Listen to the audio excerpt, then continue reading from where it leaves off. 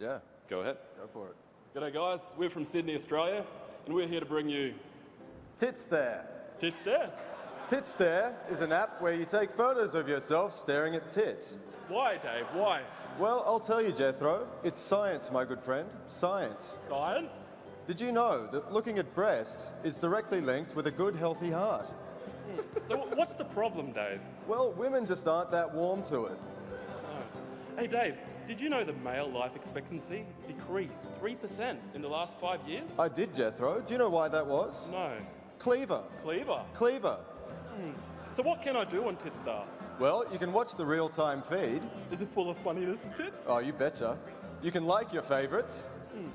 And you can upload your own using photo effects by Radium One. Dave, I think this is the best hack ever. It's the best, most titillating fun you can have. Thanks.